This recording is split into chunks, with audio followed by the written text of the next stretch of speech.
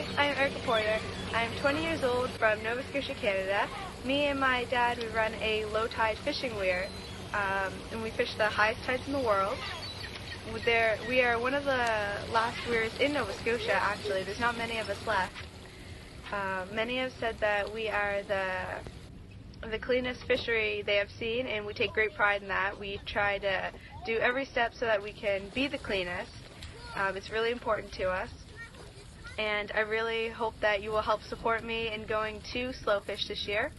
Um, I think it would be a great opportunity to learn and talk to other fishermen about their experiences, what they do. Um, I think that we can definitely talk about how they get more added value for their fish, how we can do it too.